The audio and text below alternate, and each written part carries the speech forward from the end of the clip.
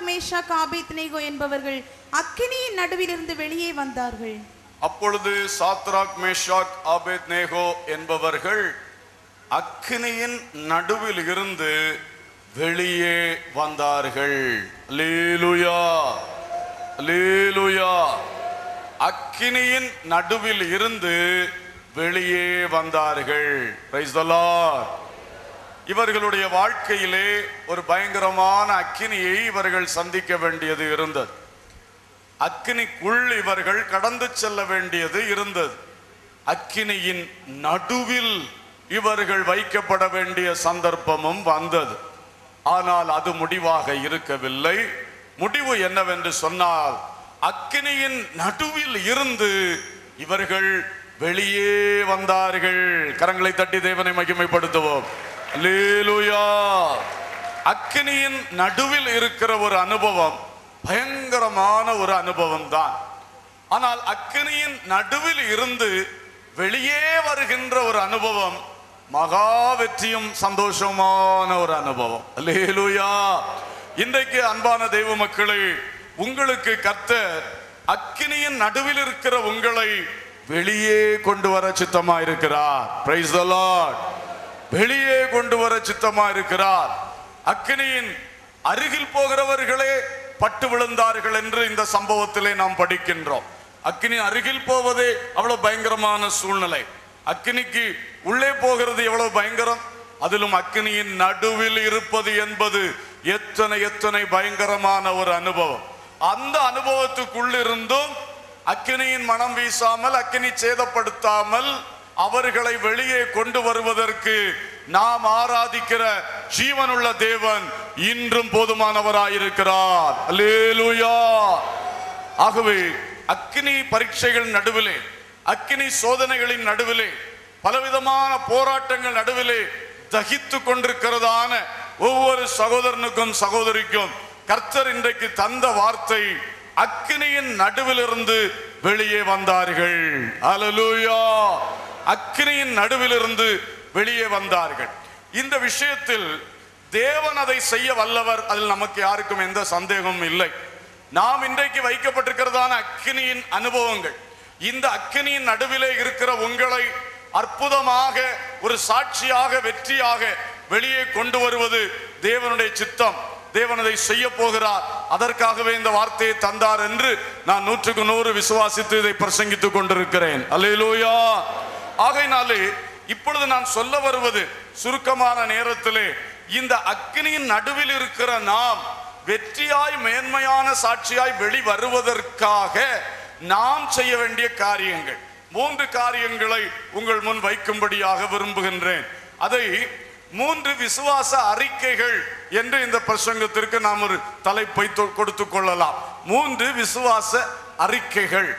மூன்று விசுவாச அறிக்கைகளை இந்த அக்கறையின் நடுவில் இருக்கிற நாம் இன்றைக்கு செய்வோமே ஆனால் கர்த்தர் நம்மை சாத்ராக் மேஷாக் ஆபேத் நேகோவை நடத்தினது போல ஒரு உன்னதமான நிலையிலே அக்னியின் நடுவில் இருந்து வெளியே கொண்டு வருகிறார். அல்லேலூயா.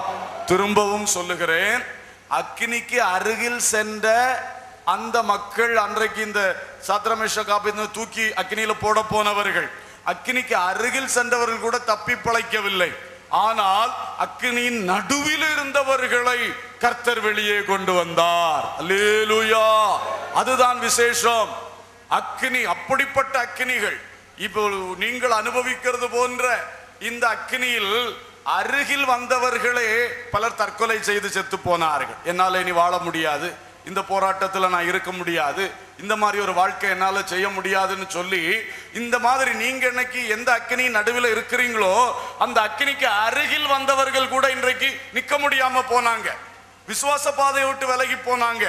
அப்படியெல்லாம் இருக்கும் பொழுது உங்களையும் என்னையும் இன்றைக்கு அக்கினியின் நடுவிலும் வெந்து போகாமல் அவர் நிலைநிறுத்தி கொண்டிருக்கிறார். காரணம் அவரும் நம்மோடு உலாவி கொண்டிருக்கிறார். அல்லூயா ஆகையினாலே அவர் கட்டாயமாக இந்த அக்னியின் நடுவிலிருந்து வெளியே கொண்டு வரப்போகின்றார். மறுபடியும் கரங்களை தொட்டி தேவனை மகிமைப்படுத்துவோம் ஹalleluya ஹalleluya அக்னி நடுவிலிருந்து கர்த்தர் மறுபடியும் வெளியே கொண்டு வரப்போகிறார். அதற்கு நம்முடைய வாய் சொல்ல வேண்டிய நம்முடைய உள்ளம் சொல்ல வேண்டிய உண்மையாய் சொல்ல வேண்டிய ஆணித்தரமாய் சொல்ல வேண்டிய மூன்று விசுவாச அறிக்கைகள். ஒன்று இதே சாத்ராக் மேஷோக் ஆபேத்நேகோ சொன்னதை வாசிக்கலாம். தானியல் மூன்றாம் அதிகாரம் பதினாறு பதினேழு பதினெட்டு வாசியுங்கள். சாத்ராக் மேஷாக் ஆபேத்நேகோ என்பவர்கள் ராஜாவை நோக்கி நேபுகாத் நேச்சாரே இந்த காரியத்தை குறித்து உமக்கு உத்தரவு சொல்ல எங்களுக்கு அவசியமில்லை. நாங்கள் ஆராதிக்கிற எங்கள் தேவன் எங்களை தப்புவிக்க வல்லவராயிருக்கிறார். அவர் எரிகிற அக்னி சூளைக்கும் ராஜாவாகிய உம்முடைய கைக்கும் நீங்களாக்கி விடுவிப்பார். விடுவிக்காமற் போனாலும் நாங்கள் உம்முடைய தேவர்களுக்கு ஆராதனை செய்வதும் இல்லை நீர் நிறுத்தின பொற்சிலையை பணிந்து கொள்வதும் இல்லை என்கிறது. ராஜாவாகி உமக்கு தெரிந்திருக்க கடவது என்றார்கள்.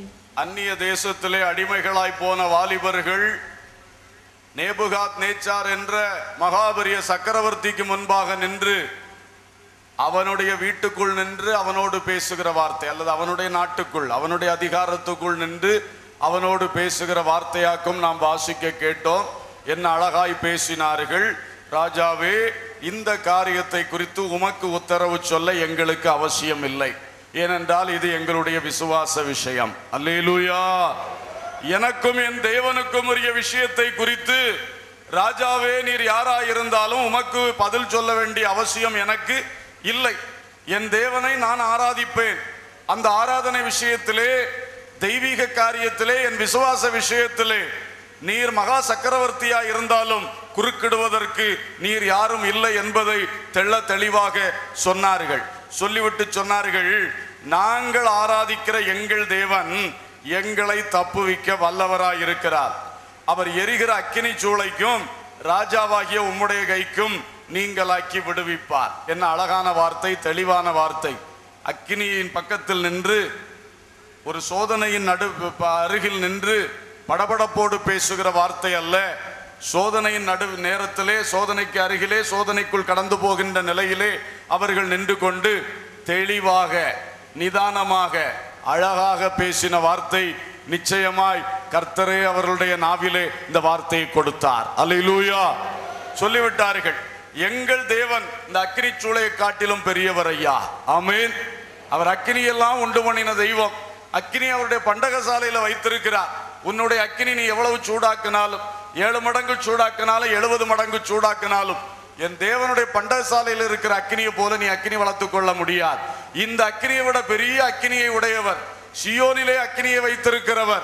அவர் இந்த அக்கினி சூளைக்கு எங்களை தப்புவிக்க வல்லவராயிருக்கிறார். அல்லேலூயா. ராஜாவே உம்முடைய கைக்கும் எங்களை தப்புவிக்க அவர் வல்லவராயிருக்கிறார். உம்முடைய கை என்ன பெரிய கையா? அதானே உள்ள இருக்கிற விஷயம். உம்முடைய கை எல்லாம் செய்யும் என்று நினைக்கிறீர். உம்முடைய கை நீட்டினால் எல்லாம் நடக்கும் என்று நினைக்கிறீர். அந்த கையிலிருந்து தப்புவிக்க இன்னொரு கை இருக்கிறது ஐயா. அது எங் நாங்கள் ஆராதிக்கிற எங்கள் தேவனுடைய கரம். அலலூயா அலலூயா அருமையாய் சொன்னார்கள். விடுவிக்க வல்லவராய் இருக்கிறார். அடுத்து சொன்னார்கள் விடுவிக்காமற் போனாலும். இந்த வார்த்தை தான் நம்முடைய முதலாவது விசுவாச அறிக்கையாக நாம் சொல்ல வேண்டும் என்று நான் சொல்ல வருகிற வார்த்தை. பாருங்கள் விடுவிக்காமற் போனாலும். மறுபக்கத்தையும் சொல்லுகிறோம். தெளிவா சொல்லிட்டேன் நாங்க இதுல தெளிவா இருக்கிறோம் ஐயா.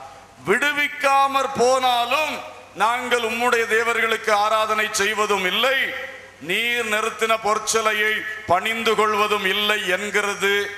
Let it be known to you இது உமக்கு தெரிந்திருக்கட்டும். நாங்கள் உமக்கு சொல்ல அழகான வார்த்தையை சொல்ல இது தெரிந்திருக்கட்டும். உமக்கு தெரியாத ஒரு விஷயம். தெரிந்திருக்கட்டும்.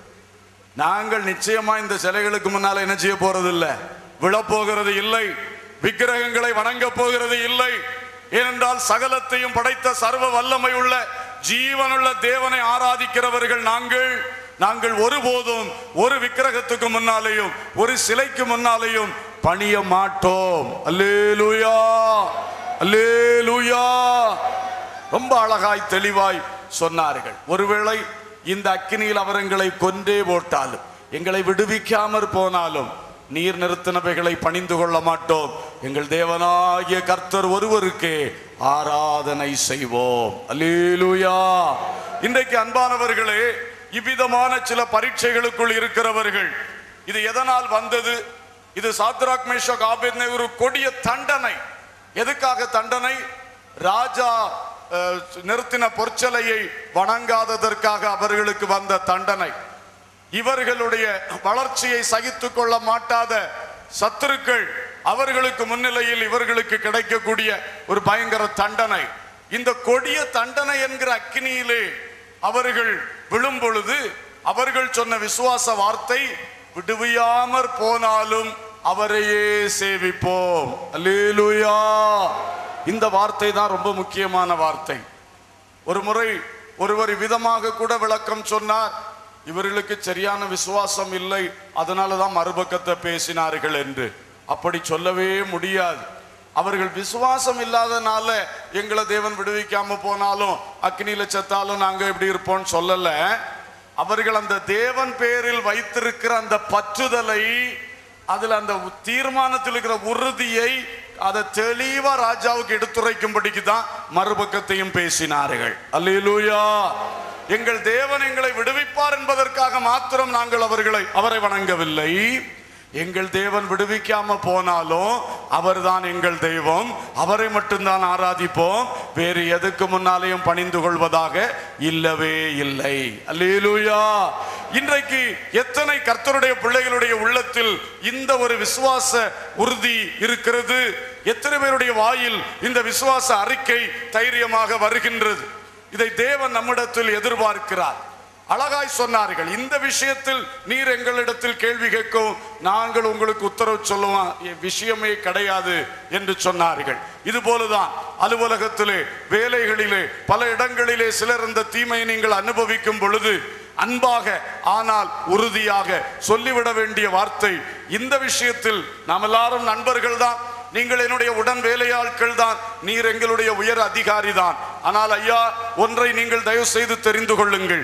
விசுவாச விஷயத்திலே ஆராதனை கடத்த விஷயத்திலே எங்களை நீங்கள் கம்பல் பண்ணவும் கூடாது. என்னை நீங்கள் இந்த விஷயத்தில் கூப்பிட்டு கேள்வி கேட்கவும் கூடாது. அது தேவையில்லை என்று தெளிவாய் சொல்லிவிட வேண்டும். எக்காரணம் கொண்டும் எங்கள் ஜீவனுள்ள தேவனை நாங்கள் ஆராதிக்கிற காரணத்தினாலே அவருடைய பிரமாணத்தை நான் அறிந்திருக்கிற காரணத்தினாலே சிலைகளுக்கு முன்பு விக்கிரகங்களுக்கு முன்பு படங்களுக்கு முன்பு நான் வந்து பணிந்து கொள்ளவும் மாட்டேன். அந்த பூஜைகளுக்காக ஒரு காசும் நான் கொடுக்கவும் மாட்டேன். அந்த நாளில் நான் அந்த ஃபங்க்ஷனுக்கு வரவும் மாட்டேன்.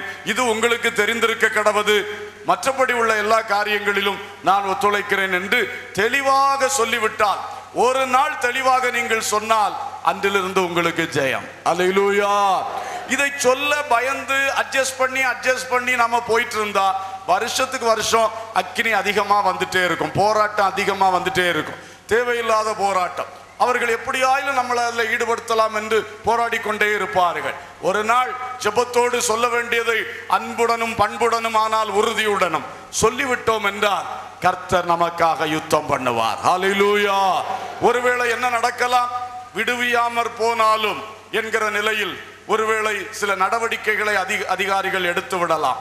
நேரடியா இதற்காய் நடவடிக்கை எடுக்க முடியாது. அதனால மறைமுகமாய் வேறு ஏதாயிலும் காரியங்களை அவர்கள் செய்யலாம். வேறு குற்றச்சாட்டுகளை உண்டாக்கலாம். இப்படியெல்லாம் செய்வார்கள். அப்படி செய்தாலும் இந்த தேவனை மட்டுமே ஆராதிப்பேன். வேறு எதற்கு முன்பாகவும் பணிவதாக இல்லை. அலையிலூயா இந்த விஷயத்தில் ஒரு பக்தி வைராக்கியம் தேவ பிள்ளைகளுக்கு உண்டாகும் பொழுது தேவன் அதிலே எழுந்தருளி மகிமைப்படுகின்றார். அமீன் அக்கினியின் மனம் கூட வீசாமல் உங்களை மேன்மைப்படுத்துவார். உங்களை இதிலே தள்ள காரணமாக இருந்தவர்கள் அந்த அக்கினியில் வந்து போவார்கள். பிரைஸ் உங்களுக்கென்று அவர்கள் மூட்டின அக்கினியில் அவர்களே அழிவார்களை தவிர உங்களையோ தேவன் அக்கினியின் நடுவிலிருந்து வெற்றியாக வெளியே கொண்டு வருவார். அலேலூயா எனவே அன்பானவர்களே இந்த விஷயத்திலே நாம் ஒரு விசுவாச அறிக்கை செய்ய வேண்டும். என்ன அறிக்கை என்றால் விடுவியாமற் போனாலும் அவரையே சேவிப்போம். ஆமென். எல்லாரும் சொல்லுவோமா? விடுவியாமற் போனாலும் அவரையே சேவிப்போம். ஒரு விசை கூட சொல்லுவோம். விடுவியாமற் போனாலும் அவரையே சேவிப்போம். இன்னும் ஒரு விசை சத்தமாக. விடுவியாமற் போனாலும் அவரையே சேவிப்போம். இதுதான் விசுவாச அறிக்கை. ஒவ்வொரு உள்ளத்திலும் எழும்பி கொண்டிருக்க வேண்டிய ஒரு அறிக்கை இதுதான். ஒவ்வொரு வாய்களிலிருந்தும் புறப்பட வேண்டிய ஒரு அறிக்கை இதுதான். ஆராதனை விஷயமா? என்னுடைய தெய்வத்துக்குரிய விசுவாச விஷயமா? ஐ வில் நெவர் காம்ப்ரமைஸ் நான் அதில் ஆ, நான் அதில் விட்டு கொடுக்கவே மாட்டேன். நான் அதில் காம்ப்ரமைஸ் பண்ணவே மாட்டேன். இது யோசித்து எடுக்க வேண்டிய முடிவு அல்ல இது அந்த இடத்தில் ஆன் த ஸ்பாட் உடனே எடுக்க வேண்டிய ஒரு முடிவு.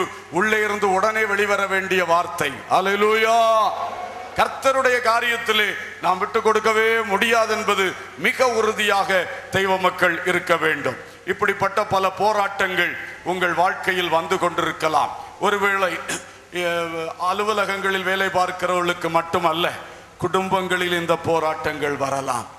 நீங்கள் இருக்கின்ற சூழ்நிலைகளில் இந்த போராட்டங்கள் சுற்றுப்புறத்தினுடைய நெருக்கங்கள்.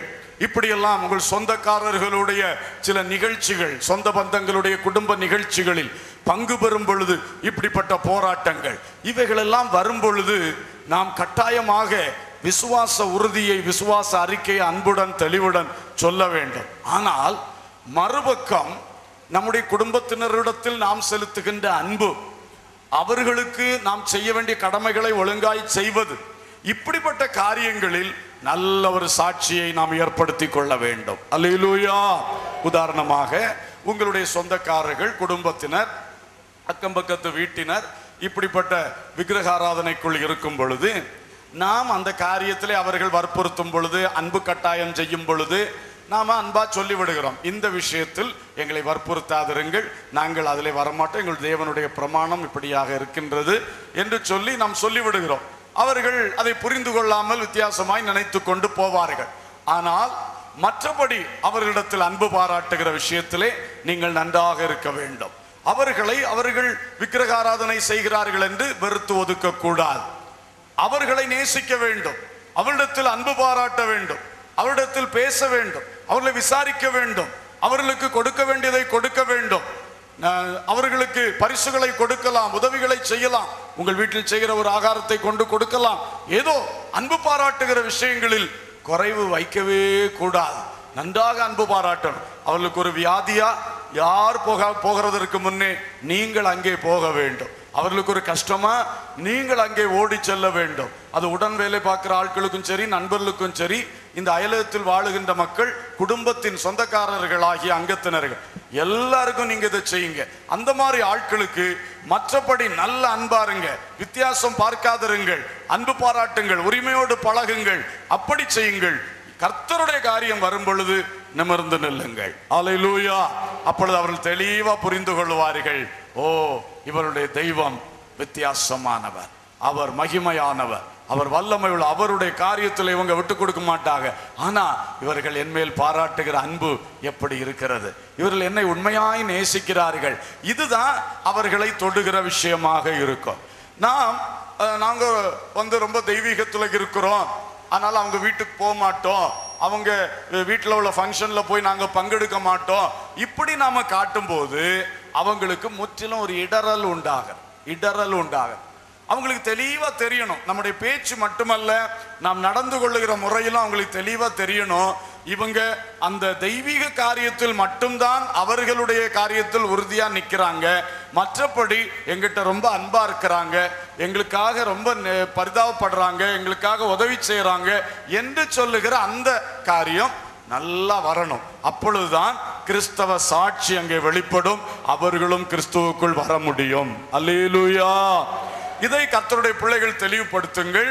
இன்றைக்கு நான் வலியுறுத்துகிற விஷயம் என்னவென்றால் அவர் விடுவியாமற் போனாலும் அவரையே சேவிப்போம். ஒரு விசை கூட சொல்லுவோம்.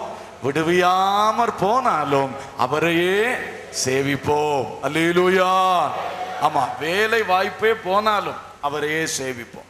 சம்பளமே தராம போனாலும் அவரையே சேவிப்போம். என் வேலையில் என்ன வேணும்னு தண்ணி இல்லாத காட்டுக்கு டிரான்ஸ்ஃபர் பண்ணி விட்டாலும் அவரையே சேவிப்போம். என்ன ஒரு மாதிரி டீஸ் பண்ணி எல்லாருமா சேர்ந்து பரிகாசம் பண்ணி என்னை வேலை செய்ய விடாம என் மனக்கு எனக்கு எனக்கு மன உளைச்சல் கொடுத்து கொண்டிருந்தாலும் அவரையே சேவிப்போம். என்னுடைய தெருவிலே என்னை தனிப்படுத்தி ஒதுக்கி இவன் இவன் வந்து வேற க- ஆளு என்று சொல்லி ஒதுக்கி தள்ளினாலும் அவரையே சேவிப்போம். அல்லேலூயா. தெரு பைப்புல தண்ணி எடுக்க விடாம போனாலும் அவரையே சேவிப்போம். அல்லேலூயா. எந்த காரியம் எப்படி நடந்தாலும் அவரையே சேவிப்போம். இந்த ஒரு விசுவாசம் நமக்கு இருக்கட்டும். கத்தருக்கு ஸ்தோத்திரம். நம்முடைய ஆபத்திலே தேவன் நிச்சயமாக நமக்கு உதவி செய்வார். பிரைஸ் சொல்லார் ரெண்டாவது ஒரு வசனம் வாசிக்கலாம். யோபின் புஸ்தகம் பதிமூன்றாம் அதிகாரம் பதினைந்தாம் வசனம் வாசிப்போம். யோபு பதிமூன்று பதினைந்து. அவர் என்னை கொன்று போட்டாலும் அவர் மேல் நம்பிக்கையா இருப்பேன் யோபு யோபு சொல்லுகிற விசுவாச அறிக்கையை பாருங்கள். அவர் என்னை கொன்று போட்டாலும் அவர் மேல் நம்பிக்கையாயிருப்பேன். லேலுயா இந்த வார்த்தைக்காகவும் கரங்களை தட்டி தேவனை மகிமைப்படுத்துவோம். அவர் என்னை கொன்று போட்டாலும் அவர் மேல் நம்பிக்கையாயிருப்பேன். என்ன பெரிய வார்த்தை பாருங்க. யோபுவுக்கு வந்த சோதனை நம் அனைவருக்கும் தெரியும். ஒரே நாளில் அனைத்து பிள்ளைகளையும் இழந்து. ஆடு மாடுகள் மிருக ஜீவன்கள் எல்லாம் ஒரே நாளில் இழந்து. செல்வந்தனாயிருந்த மனுஷன் அப்படியே தரையிலே உட்கார்ந்த நிலை வந்துவிட்டது. இன்னும் போதாது என்று சொல்லி அந்த மனிதனுடைய சரீரத்திலே வந்த போராட்டம். உச்சம் தலை முதல் உள்ளங்கால் வரை ஒரு இடம் பாக்கி இல்லாம பருக்கள். அதனுடைய சொரிச்சலினாலே ஓட்டை எடுத்து சுரண்டி கொண்டிருக்கிறார். வேதனை தாங்க முடியவில்லை. மனவேதனை எல்லாம் ஒரே நாளில் பயங்கர இழப்பு. சரீர வேதனை கொடுமையான கடுமையான வியாதி. மரணம்தான் வருமோ என்று மரணத்தின் நிலை அவருடைய அவருடைய அங்கலாய்ப்புகளை யோபின் புஸ்தகத்தில் நாம் படிக்கும் பொழுது ஓ பயங்கரமாக இருக்கிறது அந்த அந்த நேரத்தில் அவருக்கு மனதில் இருந்த அந்த வேதனைகள். ஆறுதல் சொந்த வந்த சகோதரர்களும் நியாயம்தான் பேசிக்கொண்டே இருந்தார்கள். அந்த நியாய பேச்சுகளும் யோபுவை இன்னும் காயப்படுத்தி கொண்டே இருந்தன. உத்தமனாய யோபுவுக்கு வந்த இழப்புகள் உத்தமனாய யோபுவுக்கு வந்த கடுமையான வியாதி உத்தமனாய யோபுவுக்கு ஆறுதலுக்கு பதிலாக நண்பர்களிடத்திலிருந்து கிடைத்த அடுக்கடைக்கான அம்பு வார்த்தைகள் அம்பு காயப்படுத்தும் அம்பு வார்த்தைகள். இதெல்லாவற்றின் நடுவிலே அந்த மனுஷன் பேசுகிறார் அவர் என்னை கொன்று போட்டாலும் அவர் மேல் நம்பிக்கையாயிருப்பேன். அலிலுயா அலிலுயா பாருங்கள் சொந்த மனைவியே நீர் இருப்பதை பார்க்கிலும் போவது உமக்கு நலம் என்று சொன்ன நேரத்திலும் அந்த மனுஷன் கர்த்தரை நோக்கி பார்த்து நிற்கிறான். தனக்குத்தான் மரணத்தை வருவித்துக் கொள்ளாதபடி தற்கொலை செய்து கொள்ளாதபடி இந்த தேவன் ஏன் இன்னும் என் ஜீவனை வைத்திருக்கிறாரோ எனக்கு ஒன்றும் புரியவில்லையே.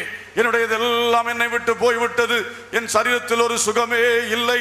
எங்கு பார்த்தாலும் வேதனை வேதனை வேதனை வேதனை. என்ன செய்வது? ஆனாலும் சொல்லுகிறார் கொண்டு போட்டால் இந்த நிலைமையில் பாதிக்கப்பட்டு தண்டிக்கப்பட்டது போன்ற நிலையிலே நான் கொண்டு போடப்பட்டு நாளைக்கு எல்லாரும் யோபு ரொம்ப மோசக்காரன் இப்படி செத்து போனா என்று சொல்லக்கூடிய சூழ்நிலை வந்தாலும் நான் அவர் மேல் நம்பிக்கையாயிருப்பேன். அல்லேலூயா! அல்லேலூயா இன்னைக்கு சரீரத்தில் வேதனைப்படுகிறவர்களே நண்பர்களால் காயப்படுத்தப்பட்டு கொண்டிருக்கிறவர்களே இழப்பின் நடுவில் வேதனையோடு இருக்கிறவர்களே உங்களுக்கெல்லாம் யோபுவை ஒரு நல்ல ஒரு உதாரணமாக தேவன் முன்னிறுத்தி காண்பித்திருக்கிறார். ஒருவேளை உங்கள் அன்புக்குரியவர்களை இழந்து கடுமையான வேதனைக்குள் நீங்கள் ஆகியிருக்கின்றீர்கள். அந்த வேதனையிலே நான் இருந்து எதற்கு என்று பலவேளை நினைக்கிறீர்கள். ஆனால் யோபுவை பாருங்கள் பொறுமையுடனே சகித்தான். அல்லேலூயா! என் பிள்ளைகள் எல்லாம் போய்விட்டார்களே என் மனைவியும் சொல்லிவிட்டாளே இனி நான் இருந்து எதற்கு என்று அவன் நினைக்காதபடி கர்த்தருடைய சித்தமாகட்டும். கர்த்தர் என்னை படைத்தார் அவருடைய நோக்கம் என்ன என்று சொல்லி பொறுமையோடு கூட அவன் இருக்கிறான். ஹalleluya கர்த்தருக்கு ஸ்தோத்திரம். இழப்புகள் மட்டுமல்ல சரீரத்தில் வந்த வியாதி எவ்வளவு பயங்கரம். ஒரு பக்கம் அந்த வேதனையிலே இந்த வேதனை அதிகரித்து மகா பயங்கரமான வேதனைக்குள் இருக்கிறான். உங்கள் சரீரத்தை அடிக்கடி பார்த்து பார்த்து கவலைப்பட்டு கொண்டிருக்கிறீர்களா? கண்ணாடியிலே உன் சரீரத்தை பார்த்து வேதனையோடு அழுது கொண்டிருக்கிறாயா?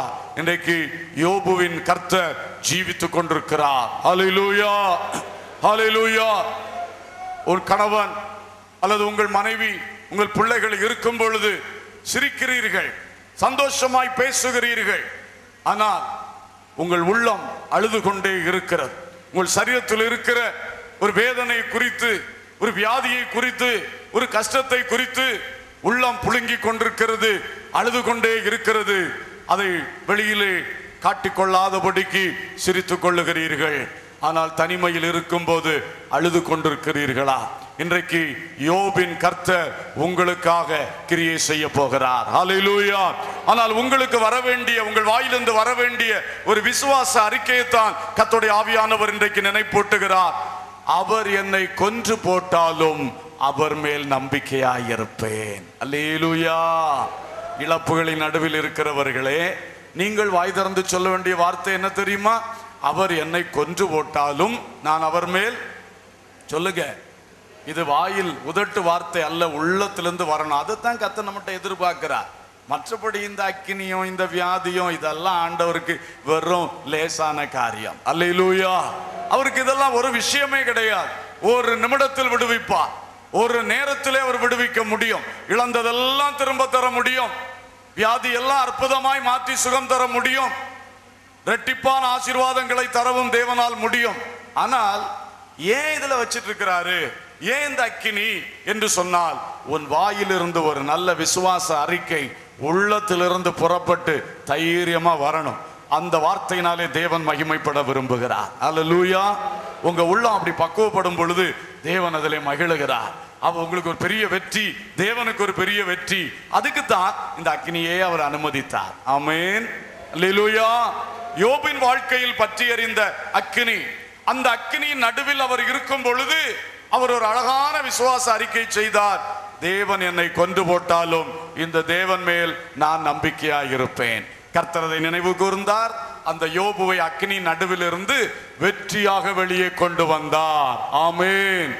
அல்லேலூயா. அப்ப இவ்வளவு அக்னி பரீட்சை நடுவில் யோபுடைய வார்த்தை தான் வெற்றியை கொண்டு வந்தது. பிரைஸ் த லார்ட் இன்றைக்கு ஒருவேளை இழப்பின் நடுவில் வேதனையோடு துக்கத்தின் அடியாளத்திலே கடந்து கிடந்து கஷ்டப்படுகிறீர்களா? அல்லது வியாதி சரீர கஷ்டம் சரீரத்தில் உண்டாயிருக்கிற பலவீனங்கள் இவைகள் உங்களுடைய விசுவாசத்தையும் தளர பண்ணி உங்களுடைய தைரியத்தையும் இழக்க செய்து உங்களுடைய சந்தோஷத்தையும் திருடி வீட்டுக்குள்ளேயே புழுங்கி புழுங்கி இருக்கின்ற வேதனையை வெளிக்காட்டாமல் தனியிலே அழுது கொண்டிருக்கின்ற ஒரு நிலையா?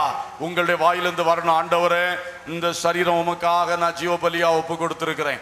இந்த சரீரத்தின் ஒவ்வொரு அவயவங்களும் கர்த்தாவே நீதியின் ஆயுதங்களா உங்களுடைய கிரியைகளை செய்யும்படி ஒப்பு கொடுத்துருக்கிறேன் ஆண்டவரே. துர்க்கிரியை செய்ய மாட்டேன். ஆண்டவர் பிரியமில்லாது போக மாட்டேன். தப்பி தவறி என்கிட்ட வரக்கூடிய தவறுகளை நீர் எனக்கு உணர்த்தணும் என்ன திருத்தணும் ஆனால் கட்டாயமாக ஆண்டவரே இந்த சரீரத்தில் நீர் அதிகாரம் உள்ளவராய் இருக்கிறீர். அலையிலூயா உம்முடைய அதிகாரம் இன்றைக்கு என் சரீரத்தில் இருக்குது. உம்முடைய வல்லமை இன்றைக்கு என்னை குணமாக்க முடியும். அதே வேளையிலே நீர் என்னை இந்த வியாதியிலே கொன்று போட்டாலும் நீர் என்னை இந்த சரீர கஷ்டத்திலே கொஞ்சு போட்டாலும் நான் உண்மையில் நம்பிக்கையாயிருப்பேன். அலேலுயா அலேலுயா இது ஒரு அவிசுவாச வார்த்தை அல்ல. இது ஒரு ஆண்டவரோடு உள்ள அந்த லாயல்டி ஆண்டவரோடு உள்ள அந்த பற்றுதலை குறிக்கின்ற ஒரு அழகான வார்த்தை. அலிலுயா இந்த வியாதியில் சுகம் அல்ல பெருசு என் இயேசுதான் எனக்கு பெருசு என்று சொல்லக்கூடிய வார்த்தை இது. ஆமென். அல்லேலூயா. வியாதியில் சுகம் வேண்டும். அதே வேளையில் வியாதியில் சுகம் பெறுவதை விட என் இயேசுதான் எனக்கு பெருசு. அல்லேலூயா. அதுதான். கொண்டு போட்டாலும் நான் உண்மையில் எப்படி இருப்பேன்? நம்பிக்கையா இருப்பேன். விடுவிக்காம போனாலும் நான் உண்மைத்தான் என்ன செய்வேன்?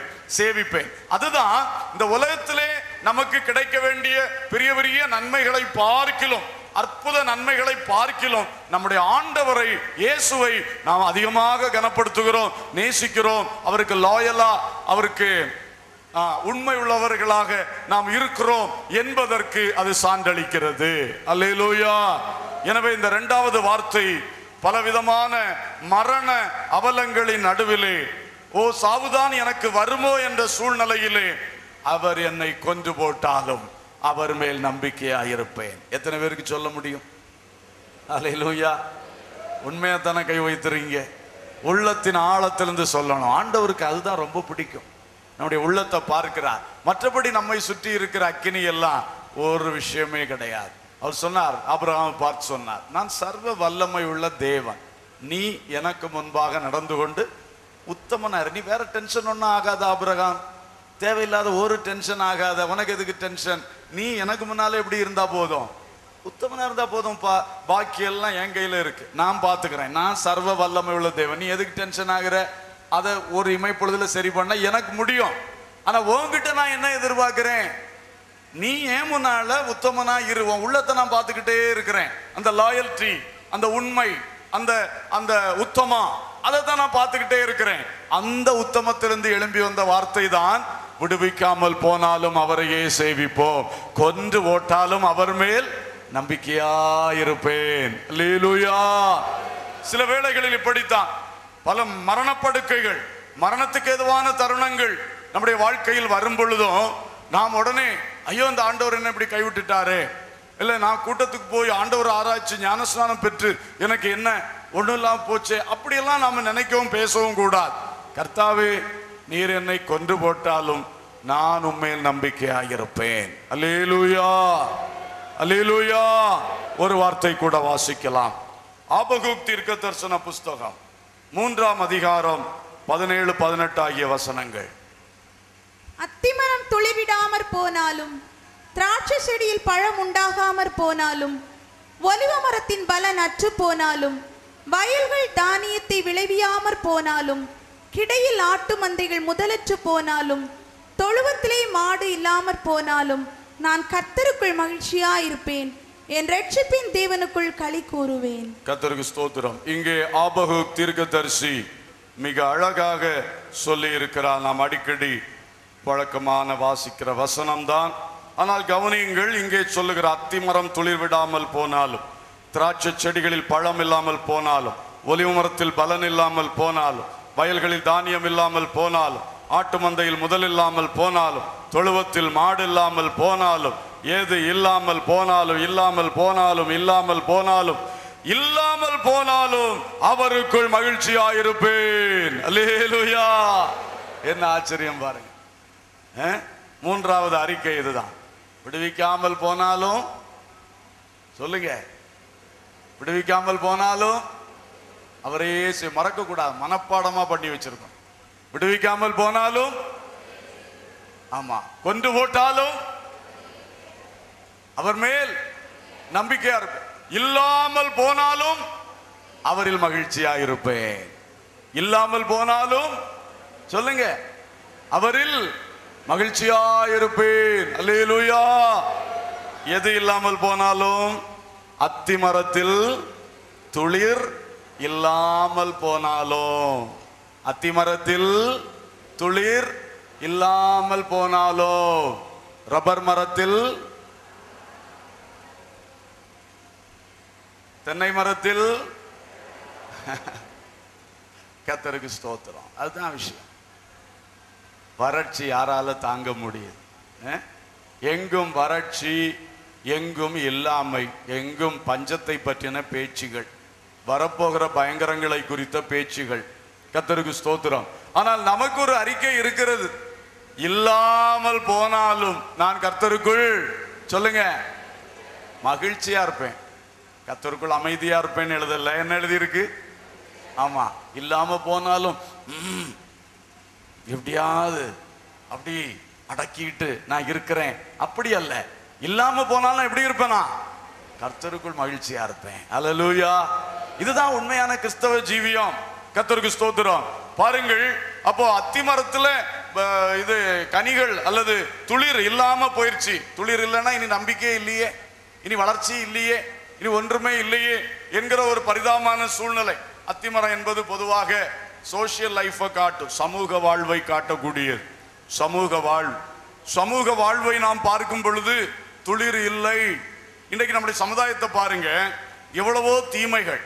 பேப்பரில் விலாவாரியாக எழுதுறாங்க தீமைகளை பற்றி. ஆனால் தீமைகளுக்கு தீர்வு காணும் துளிர் எந்த பேப்பரிலும் இல்லை. மீடியாவில் போட்டு அடிக்கிறான். போட்டு அடி மேல் அடிக்கிறான். இந்த பிரச்சனைகள் எல்லாம் அழகாக எடுக்கிறாங்க. பிரச்சனைகள்லாம் அழகாக கண்டுபிடிச்சிருக்காங்க. பாலியல் பலாத்காரங்களா அல்லது கட இது பயங்கர கொலைபாதகங்களா தீவிரவாதங்களா வேறுள்ள பல்வேறு செயல்கள் எல்லாம் எடுத்து விலாவரியா பேசுறாங்க. ஆனால் அதை வாசிக்கும் பொழுது கேட்கும் பொழுது இதுல ஒரு தீர்வுக்கான ஒரு துளிர் இருக்கிறதான்னு பார்த்தா இல்லவே இல்லை. அறிவாளிகள் ஞானிகள் பெரியவர்கள் பேசுகிறார்கள். ஆனா இதுல ஒரு தீர்வு காணதுக்கு நாளைக்கு இது ஒரு நல்ல காலமா மாறும். இந்த தீம சமுதாயத்தை விட்டு மாறும். அதற்கு ஒரு நம்பிக்கையின் துளிர் இருக்கிறதா? எந்த செய்தியிலேயாவது இருக்கிறதா? எந்த தலைவர்களுடைய ஸ்டேட்மெண்ட் அறிக்கைகள்ல வருகிறதா? என்று கேட்டால் இல்லை. அத்திமரம் துளிர் விடாமல் போகும் இக்காலம். அமேன் சமுதாய வாழ்க்கை சீரழிந்து போகிறது. சமுதாயங்கள் இன்றைக்கு உடைந்து நிர்மூலமாகக்கூடிய நிலை குடும்பங்கள் உடைந்து நிர்மூலமாகக்கூடிய நிலை இப்படிப்பட்ட சமுதாய சீரழிவுகள் இருக்கும் பொழுது நாம் கர்த்தர் மேல் ஒரு நம்பிக்கை வைத்திருக்கிறோம். இங்கே துளிர் இல்லாவிட்டாலும் நமக்கு தெரியும். நாம் மகிழ்ச்சியா இருப்போம். காரணம் கர்த்தர் ஒரு கிரியை செய்வார். ஹalleluya கர்த்தரால் இதை செய்ய முடியும். பாருங்கள் இப்படி நம்ம வாழ்க்கையில உங்க வாழ்க்கையில வெளிப்படையான உங்க வாழ்க்கையில பொது வாழ்க்கையில சமுதாய வாழ்க்கையில எந்த பிரச்சனைகள்? ஒரு துளிர் இல்லையே ஒரு நம்பிக்கை இல்லையே. ஒரு வேலை வாய்ப்பு சமுதாயத்துல ஒரு வேலை கிடைச்சு ஒரு பிழைப்புக்கு ஒரு வேலை வேண்டாமா? இந்த வேலை வாய்ப்புக்கு எனக்கு ஒரு துளிர் விடவே இல்லையே என்றிருப்பீர்கள். ஒரு வீடு வேண்டாமா ஒரு சொந்தமான ஒரு ஒரு மனை ஒரு வீடு. எனக்கு வேண்டாமா? என் சமுதாய வாழ்க்கையில் நான் சமுதாயத்தில் நானும் ஒரு மனுஷனா நிற்க வேண்டாமா? அதுக்கு ஒரு துளிர் காணவே இல்லையே. இப்படி சமுதாய வாழ்க்கையிலே நமக்கு தேவையான பல காரியங்கள் உண்டு. அவைகளுக்கு ஒரு சின்ன துளிர் கூட இல்லாத நிலை. ஆனால் அந்த நிலையில் இருக்கும் பொழுதும் அபகுக்கை போல சொல்லுங்கள் இல்லாமல் போனாலும் கர்த்தருக்குள் மகிழ்ச்சியா இருப்பேன். அல்லேலூயா.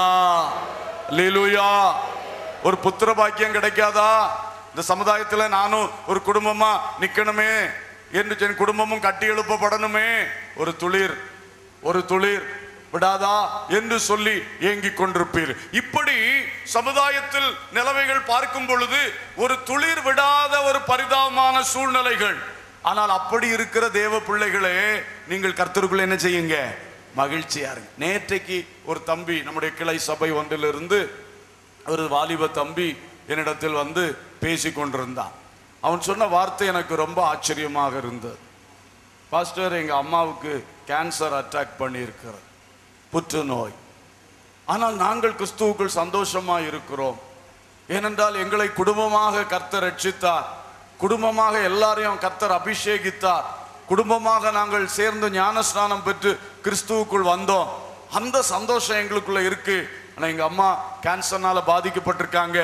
நான் எத்தனையோ ஆட்களை சந்திக்கும் பொழுது என்னுடைய உடன் உள்ள வாலிபர்கள் சொல்லுவாங்க நீ எப்படிப்பா இப்படி இருக்கிற? ஆனால் நான் உங்களுக்கு சாட்சியாக சொல்லுவேன் பார். எங்கள் அம்மா கேன்சரில் அவதிப்படும் பொழுதும் நாங்கள் கர்த்தருக்குள்ள சந்தோஷமாக இருக்கிறதுன்னா இதுதான் கர்த்தருடைய அன்பு இதுதான் கர்த்தர் எங்களை மகிழ்ச்சியாக்கி வைத்திருக்கிற அனுபவம் உள்ளான மகிழ்ச்சி என்று சொல்லி பரிசுத்தாவியை குறித்து நான் அவர்களுக்கு சொல்லுகிறேன் என்று சொன்னார். அலிலூயா எனக்கு ஆச்சரியமா இருந்தது இப்படி ஒரு சாட்சி நம்முடைய ஒரு சபையில் இருக்கிறதே என்று சொல்லி. யார் இப்படி சந்தோஷத்தை மற்றவர்களுக்கு பகிர்ந்து கொண்டிருக்க முடியும் இந்த சமயத்திலே? அதுதான் ஆபகு தீர்க்கனுக்கும் ஆண்டவர் கொடுத்த கிருபை. எனக்கு அத்தி மரம் துளிர் விடாமல் போனாலும் நான் கர்த்தருக்குள் எப்படி இருப்பேன்? மகிழ்ச்சியா இருப்பேன். அல்லேலூயா. இந்த மகிழ்ச்சி என்பது உள்ளிலிருந்து பொங்கி வருகிறது. வெளியிலிருந்து வருகிற சந்தோஷம் அல்ல. வெளியிலிருந்து வருகிறதுன்னா கண்டிப்பா அத்திமரத்தை பார்த்தோன்னா சந்தோஷம் போயிடும். அதுல துளிர் இல்லைன்னா சந்தோஷத்துக்கு பதில் துக்கமும் முறுமுறுப்பும் தான் வரும். ஆனா இந்த மகிழ்ச்சி என்பது பரிசுத்தாவியின் மூலம் உள்ளே இருந்து ஊறி பாய்கிற ஒன்று. அதனாலதான் வெளியில் உள்ள சூழ்நிலைகள் இதை கட்டுப்படுத்த முடியவில்லை. அல்லேலூயா. தாயார் கேன்சர் வியாதியிலே துடிக்கும் பொழுது ஒரு மகனுக்கு எங்கிருந்து மகிழ்ச்சி வருகிறது? அது உள்ளிலிருந்து பரிசுத்தாவிக்குள்ள இருந்த மகிழ்ச்சி. அந்த மகிழ்ச்சியோடு அவன் மற்ற வாலிபர்களுக்கு இயேசுவை பற்றி சொல்லி சாட்சி சொல்லி கொண்டிருக்கிறான். அல்லேலூயா. இதுதான் உள்ளிலிருந்து வரக்கூடிய மகிழ்ச்சி. அதான் சொல்லுகிறார் இல்லாமல் போனாலும் நான் கத்தருக்குள் மகிழ்ச்சியா இருப்பேன் அலலூயா அடுத்து பாருங்கள் திராட்சை செடியில் பழம் உண்டாகாமல் போனால் திராட்சை செடி குடும்ப வாழ்க்கையை காட்டுகிறது ஃபேமிலி லைஃப் திராட்சை செடி என்பது குடும்பம் சபையையும் அது காட்டும். திராட்சை தோட்டம் திராட்சை தோட்டம் சபையை காட்டும். திராட்சை செடி என்பது செடியும் கொடியுமாய் வாழுகிற கணவன் மனைவி வாழ்வை காட்டுகின்றது. கத்தருக்கு ஸ்தோத்திரம். குடும்ப வாழ்விலே பலன் ப- பழம் உண்டாகாமல் போனாலும் பலன்கள் வராமல் போனாலும் என்று சொல்லப்பட்டிருக்கு. குடும்ப வாழ்க்கையில் அன்பு என்கிற கனி வரவில்லை. குடும்ப வாழ்க்கையில் மகிழ்ச்சி என்கிற அந்த கனி எதிர்பார்த்த அளவு வரல. குடும்ப வாழ்க்கையில் ஒருவருக்கொருவர் ஒரு உதவி செய்கிறது விசாரிக்கிறது என்கிற அந்த காரியங்கள் அந்த பலன்கள் சரியாக வரல. குடும்ப வாழ்க்கையிலே பல பலன்கள் உண்டாக வேண்டும் அல்லவா? கனிகள் அந்த கனிகள் கணவன் மனைவி வாழ்விலே எதிர்பார்க்கிற அளவுக்கு இல்லை. கணவனுக்கு மனைவியை பார்க்கும் பொழுது சில குறைபாடுகள். எனக்கு அவள் இதை செய்யலையே இதை செய்யலையே அப்படி இல்லையே இப்படி இல்லையேன்னு சொல்லி. மனைவிக்கு கணவனை நினைக்கும் பொழுது இவர் எனக்கு அப்படி இல்லையே இப்படி இல்லையேன்னு சொல்லி பல நிலைகள். இப்படிப்பட்ட கனியற்ற நிலைமைகள் ஒருவருக்கொருவர் இருந்து கொண்டிருந்தாலும் அதன் நடுவிலும் கர்த்தருக்குள் மகிழ்ச்சியாயிருப்பேன் இருப்பேன். இது கர்த்தர் தந்த கணவன். இது கர்த்தர் தந்த மனைவி. ஆனால் என்னுடைய எதிர்பார்ப்புக்கு எல்லாம் இல்லாமல் போனாலும் இல்லாமல் போனாலும் கர்த்தருக்குள் மகிழ்ச்சியா இருப்பேன் லீலுயா அல்லேலூயா. இது நமக்குள் வேண்டும். ஒருவேளை எதிர்பார்த்த காரியங்கள் இல்லாமல் போனாலும் கர்த்தருக்குள் மகிழ்ச்சி. ஆனால் நீங்கள் அந்த ஒரு சாட்சியில வரும்போது அந்த ஒரு விசுவாச அறிக்கையில வரும்பொழுது கட்டாயம் நான் உங்களுக்கு சொல்லுகிறேன் அந்த இடத்திலும் கர்த்தர் வல்லமையாய் கிரியை செய்வார். அமேன் நிச்சயமா பலன் இல்லாம விடவே மாட்டார். எந்த பலன் இல்லை என்ன வருத்தப்பட்டுறீங்க ஆனால் அந்த பலன் இல்லாத நேரத்தில் அந்த வருத்தத்தை விட்டுட்டு கர்த்தருக்குள்ள மகிழ்ச்சியாக இருப்பேன்னு சொல்லி தீர்மானித்து நீங்கள் எழும்புனீங்கன்னா கண்டிப்பாக அந்த இடத்திலும் கர்த்தர் கிரியை செய்வார். ஆமேன். இங்கே எதிர்பாராத நிலையிலே அந்த அன்பு பெருக்கெடுக்க ஆரம்பிக்கும். அந்த உள்ளான ஒரு பரஸ்பர உறவு சரியாக ஆரம்பிக்கும். கட்டாயம் காரியங்கள் சரியாகும். ஆனால் கர்த்தர் என்ன விரும்புகிறார்? இந்த இல்லாமையின் நடுவிலும் என் திராட்சை திராட்சை கொடியிலே பழமில்லாத அனுபவத்திலும் கர்த்தருக்குள் மகிழ்ச்சியாயிருப்பேன். அலிலூயா அல்லேலூயா. மூன்றாவது என்ன சொல்லி இருக்கிறது ஒலிவ மரத்தில் பலனற்று போனாலும். இது ஒலிவ மரம் என்பது பலவேளை அபிஷேகத்தின் ஒலிவ எண்ணெய் காட்டுகிறது. சகரியா தீர்க்க தரிசனத்திலாம் படிக்கும் பொழுது அபிஷேகத்தை குறித்து உள்ள சம்பந்தப்பட்ட ஒரு விருஷமாக இருக்கிறது ஆகவே ஸ்பிரிச்சுவல் லைஃப் ஆவிக்குரிய வாழ்வை குறித்து இது நமக்கு சொல்லுகிறது. ஒலிவ மரத்தில் பலன் இல்லாத சில சூழ்நிலைகள். ஓ என்னுடைய ஜெப வாழ்க்கை குறைந்து போய்விட்டது. என்னுடைய அபிஷேகத்திலே வல்லமை இல்லாமல் காணப்படுகிறது. நான் வேதம் வாசிப்பதிலே அவ்வளவு உற்சாகம் எனக்கு இல்லாமல் காணப்படுகிறது என்று நீங்கள் தொய்ந்து போய் இருக்கிறீர்கள் அதனால் தொடர்ந்து சோர்வுக்கு இடம் கொடுக்காதபடி தொடர்ந்து கர்த்தருக்குள் மகிழ்ச்சியாக முன்வாருங்கள் அலையிலூயா ஆவிக்குரிய ஜீவியத்திலே எதிர்பார்த்த வளர்ச்சி கிடைக்கவில்லை. சில வேளை உண்மைதான். ஆனா அதுக்காக சோர்ந்து தளர்ந்து போகிறதுக்கு பதிலாக இருக்கிறதில் கர்த்தருக்குள் மகிழ்ச்சி அடைய ஆரம்பிச்சோன்னா இன்னும் மேலான சந்தோஷத்தை கர்த்தர் தருவார். அலலூயா சில ரொம்ப விரும்புறோம். அவ்வளவு ஜெபிக்கணும். ஆனா அவ்வளவு ஜெபிக்க முடியல. அப்ப என்னால இனி ஜெபிக்க முடியாது. வேதம் வாசிக்க ஆசை. ஆனா நான் முயற்சி பண்றேன் என்னால முடியல. அப்ப என்னால இனி முடியவே முடியாது. புரியுதா உங்களுக்கு? ஆராதனையில அப்படி ஆராதிக்கணும்னு ஆசை. கத்தருக்கு ஊழியம் செய்யணும்னு ஆசை ஆத்மாதாயம் செய்யணும்னு ஆசை. எல்லாம் ஆசை தான் ஆனா முயற்சி பண்றேன் ஒண்ணுமே எனக்கு நடக்க மாட்டேங்கி அப்ப இனி என்னால முடியாது என்கிற ஒரு சோர்வு ஒரு தளர்வு இது இருக்கக்கூடாது. அந்த இல்லாமைகளின் நடுவிலும் கர்த்தருக்குள் மகிழ்ச்சியா இருக்கும் பொழுது கர்த்தர் இல்லாமைகளை நிறைவாக்குவார். ஹalleluya ஒலிவ மரத்தில் எதிர்பார்க்கிற பலன்கள் இல்லையா? ஜெபித்தேன் ஜெபத்துக்கு பதில் வரவில்லை. ஊழிய ஆத்துமாக்கள் இடத்திலே போனேன் ஆத்துமாக்கள் விஷயத்திலே பலன் வரவில்லை. நாலு பேரை கன்வென்ஷனுக்கு கூப்பிட்டேன். வரல. சில வேளை பலன் இல்லை உண்மைதான். ஆவிக்குரிய ஜீவியத்தின் காரியங்கள் சில வேளை பலன் இல்லாமல் போகிறது உண்மைதான். ஆனால் அதற்காக சோர்ந்து துக்கத்தின் கட்டில் ஆகி அதற்காக அதை விட்டு விலகுவது அல்ல. அப்பொழுதும் கர்த்தருக்குள் மகிழ்ச்சி. அலலூயா எனக்கும் கர்த்தருக்குள்ள உறவு பாதிக்கப்படாதுயா நான் கேட்டதை அவர் தராம போனாலும் இல்லாம என் நான் இல்லாமைக்குள்ள இருந்தாலும் எனக்கும் அவருக்குள்ள உறவு பாதிக்கப்படாது. நான் கர்த்தருக்குள் மகிழ்ச்சியாக இருப்பேன். அலலூயா அடுத்து என்ன சொல்லி இருக்கிறது வயல்கள் தானியத்தை விளைவியாமல் போனால். வயல்கள் எதை காட்டுகிறது? மிஷினரி ஊழியங்களை காட்டுகிறது. இல்லையா? வயல்கள் என்று சொல்லுவது வயல் நிலங்கள் இதோ இப்பொழுதே அறுவடைக்கு ஆயத்தமாக இருக்கிறது அறுவடையாளர்களை அறுப்புக்கு எஜமான் அனுப்பும்படி அவரை நோக்கி என்ன செய்யுங்கள்? ஜெபம் பண்ணுங்கள் என்று இயேசு சொன்னார். அப்போ வயல் நிலங்கள் என்பது மிஷினரி ஊழியங்களை காட்டுகிறது. சில வேளை மிஷினரி ஊழியங்களில் நாம் அந்த தானியங்கள் விளையாமல் போனாலும் நாம் பிரயாசப்படுகிறோம் கஷ்டப்படுகிறோம் கடினமாய் உழைக்கிறோம் ஜெபிக்கிறோம் உபவாசிக்கிறோம் ஆத்துமாக்களை தேடி செல்லுகிறோம். ஆனால் அந்த ஆத்ம ரட்சிப்பு ஆத்துமாக்கள் சபைக்கு வருவது கிறிஸ்துவுக்குள் எழும்புவது ஊழியத்தின் காரியங்களில் தாங்குதலாக எழும்பி நிற்பது போன்ற காரியங்களில் விளைச்சல் இல்லாமல் பலன் இல்லாமல் போனாலும் நான் கர்த்தருக்குள் மகிழ்ச்சியாயிருப்பேன். அல்லேலுயா. இதுக்கு அர்த்தம் என்னன்னா எந்த ஃபீல்டில் எது இல்லாமல் போனாலும் கர்த்தருக்கும் நமக்குள்ள உறவு இருக்கிறது. அந்த மகிழ்ச்சி பெருக்கு அது குறைவதற்கு இடமே கொடுக்க கூடாது. பிரைஸ் அது இல்லை இது இல்லைன்னு சோர்வுக்கு இடம் கொடுத்தோம்னா கர்த்தரை விட்டு விலகிடுவோம். ரொம்ப நம்மை நம்மை கீழே கொண்டு போய்விடும் சோர்வு. எனவே அதை கவனித்துக் கொள்ளணும். வயல் நிலங்களில் தானியம் விளையாமல் போனால். மிஷினரி ஊழியம்னு சொன்னேன். எழுத்தின்படி விவசாயம் இல்லையா? வயல் நிலம்னா என்ன? எழுத்தின்படி விவசாயம். விவசாயிகள் இன்றைக்கு மிகவும் வருத்தத்துக்குள் இருக்கின்றார்கள். வயல்களில் தானியம் விளையவில்லை. நட்டு வளர்த்தினது பாதியிலே கருகி போனது என்றெல்லாம் சொல்லி வேதனையில் இருக்கும் பொழுது கிறிஸ்தவ விவசாயிகள் தேவனை அறிந்த பிள்ளைகள் விசுவாசிகளான விவசாயிகள் இதிலே துக்கப்பட்டு சோர்ந்து போய் இருக்கவே கூடாது. உங்கள் வயல் நிலங்களிலே போகும் பொழுது தோட்டங்களிலே போகும் பொழுது விளைகளிலே போகும் பொழுது உள்ளே அபிஷேகத்தில் நிறைந்து கர்த்தருக்குள் மகிழ்ச்சியாயிருங்கள். அலலூயா அந்த வயல்ல அந்த தோட்டத்துல போய் நின்று தைரியமா சொல்லுங்க. இதெல்லாம் இல்லாம போனாலும் நான் உண்மையிலே மகிழ்ச்சியா இருப்பேன் எத்தனை பேர் சொல்ல முடியும்? ஆமே லூயா போங்க போய் சொல்லுங்க.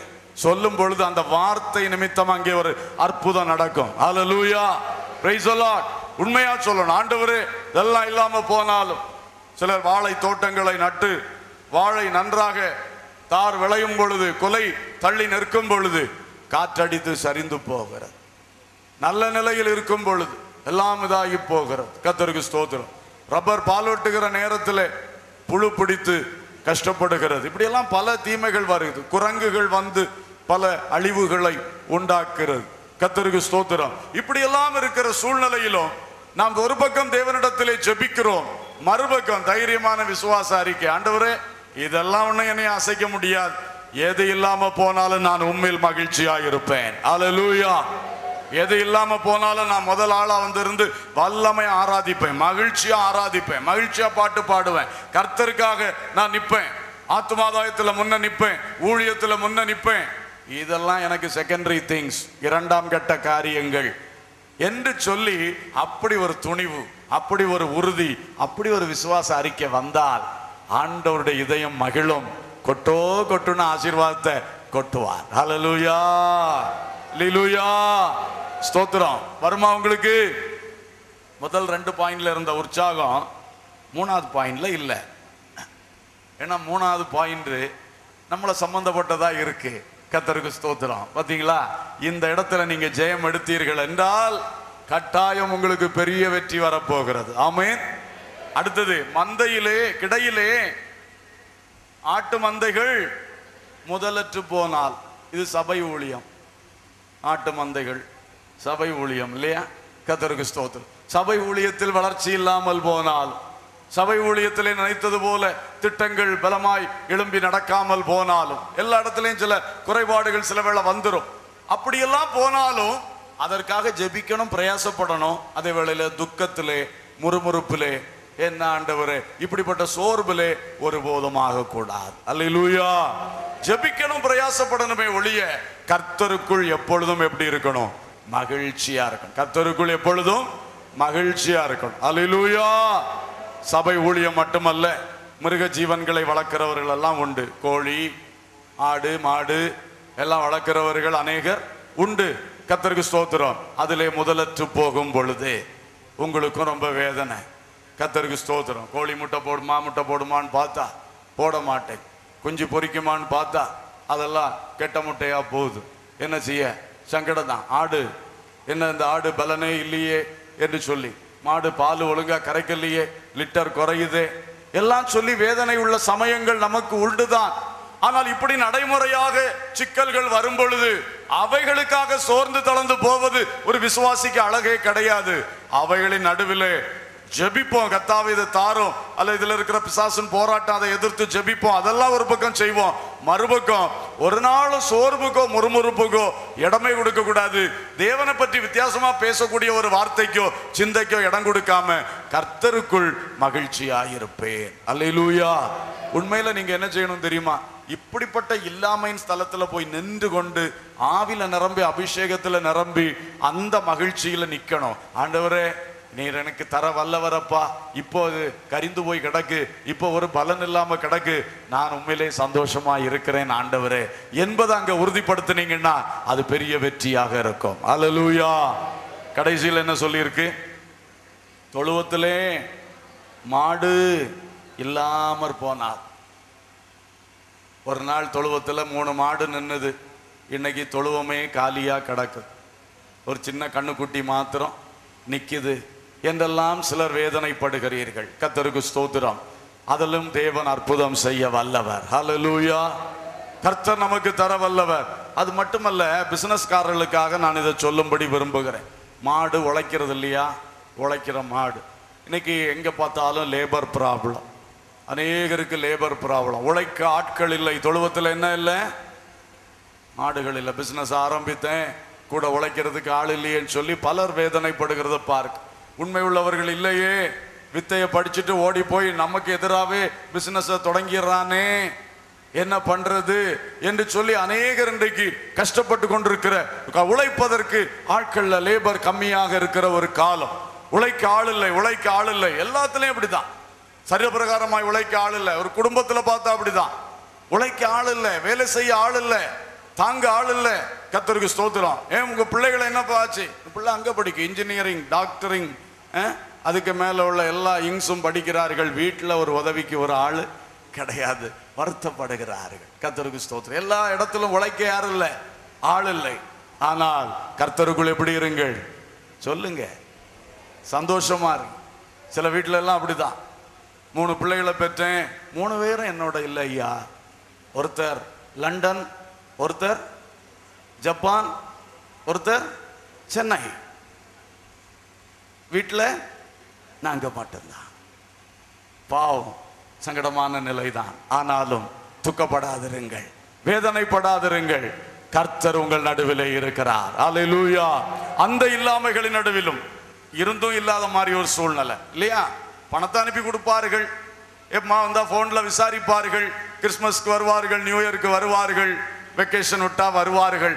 அதுக்கு பிறகு தனிமை கர்த்தருக்கு ஸ்தோத்திரம். இந்த இல்லாமைகளின் நடுவிலும் நீங்கள் கர்த்தருக்குள் மகிழ்ச்சியா இருங்கள். அமேன் ஸோ எந்த இல்லாமையா இருக்கட்டும். இல்லாமை நடுவில் எப்படி இருக்கணுமா? சொல்லுங்க வாய் திறந்து. எப்படி இருக்கணுமா? கர்த்தருக்குள்ள மகிழ்ச்சி. இங்க மட்டும் குறையக்கூடாது. அந்த மகிழ்ச்சி பொங்கிட்டு இருக்கணும். ஊறுகிற ஊற்றாக. அது பொங்கி வரணும் அது அபிஷேகத்தின் நதி. அதான் தெய்வீக மகிழ்ச்சியை தரும் நதி. அதை நமக்குள்ளேயே ஊறுகிற ஊற்றாய் தேவன் தந்துவிட்டார் அந்த அபிஷேகத்திலே பரிசுத்த ஆவியிலே நிறைந்து நமக்குள் வாழுகிற தூய ஆவியினாலே கிறிஸ்துவுக்குள் மகிழ்ச்சியாய் இருக்கும் பொழுதே இல்லாமைகளையும் கர்த்தர் நிறைவாக்கி தருவார். அடுத்த வசனத்தில் ஆபகு சொல்லுகிறார் கர்த்தர் என் கால்களை மான்களின் கால்களை போலாக்கி என்னை உயர்ஸ்தலங்களில் நிறுத்துகிறார். அல்லூயா எப்பொழுது?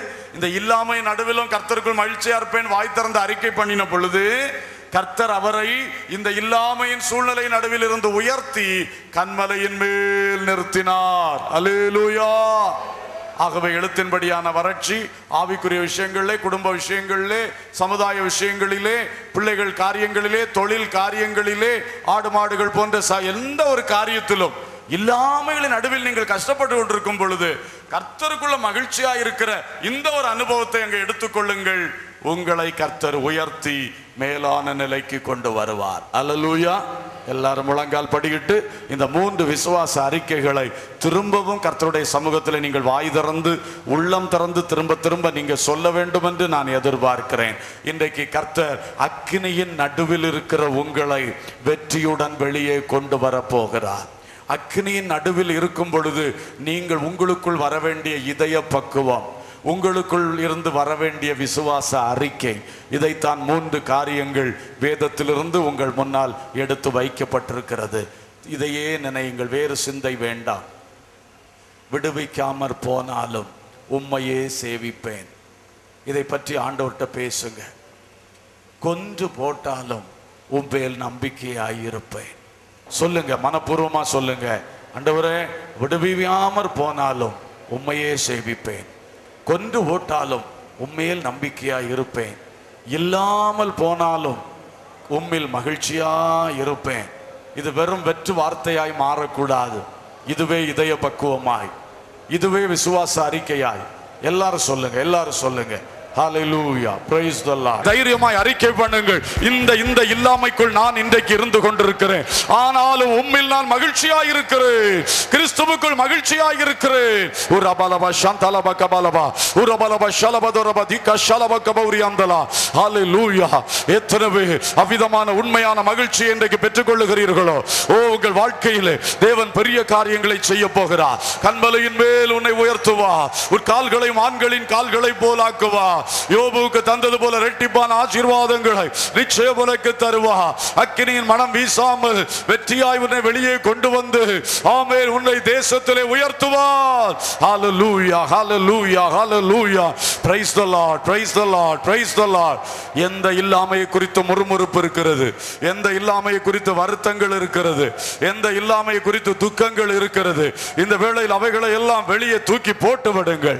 பரிசுத்த ஆவியானுடைய வல்லமை அபி அபிஷேகம் நம்மை நிரப்பட்டும். அந்த மகிழ்ச்சிக்குள் கடந்து வாருங்கள். அந்த நம்பிக்கைக்குள் கடந்து வாருங்கள். அந்த தேவனை ஆராதிக்கின்ற உறுதிக்குள் கடந்து வாருங்கள்.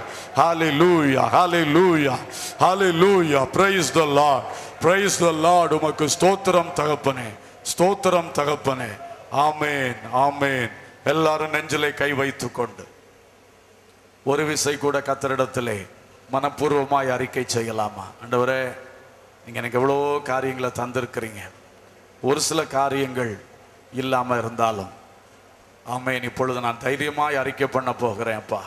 தைரியமா அறிக்கை பண்ண போகிறேன். விடுவியாமல் போனாலும் உண்மையே சேவிப்பேன். ஓ ஜீசஸ். நீர் என்னை கொன்று போட்டாலும் உண்மையில் நம்பிக்கையாயிருப்பேன் என் வாழ்வில் எது இல்லாமல் போனாலும் நான் கர்த்தருக்குள் மகிழ்ச்சியா இருப்பேன் நான் கர்த்தருக்குள் மகிழ்ச்சியா இருப்பேன் ஹalleluya ஹalleluya thank அன்புள்ள பரலோ பிதாவே நல்ல தகப்பனே நன்றியோடு துதிக்கிறோம் வாழ்த்துகிறோம். இந்த பகல் வேளையிலே ஆவியானவர் எங்களுக்கு தந்த வார்த்தைக்காய் ஸ்தோத்திரம். விடுவியாமல் போனாலும் உண்மையே சேவிக்க கொண்டு போட்டாலும் உண்மையில் நம்பிக்கையாக இருக்க. எந்த இல்லாமையின் வேளையிலும் கர்த்தருக்குள் மகிழ்ச்சியாக இருக்க. எங்களுக்கு போதித்ததுக்காய் ஸ்தோத்திரம். இது எங்களுடைய வாழ்க்கையின் உறுதியும் எங்கள் விசுவாச நிலைப்பாடும் விசுவாச அறிக்கையுமாய் மாறட்டும் அப்பா உமக்காகவே கடைசி வரை ஜீவிக்க. எந்த காரணத்திலும் உம்மை விட்டு விலகாமல் வாழ எங்களுக்கு நீர் கிருபை தரும்படியாக ஜெபிக்கின்றோம். ஒவ்வொருவரையும் ஆசீர்வதியும். அக்னி பரீட்சைக்குள் இருக்கிற பிள்ளைகளை உம்முடைய வாக்கு தத்துவத்தின்படி அக்னியின் நடுவிலிருந்து வெளியே கொண்டு வருகிறீர். அதற்காக உம்மை ஸ்தோத்தரிக்கிறேன் ஆண்டவரே.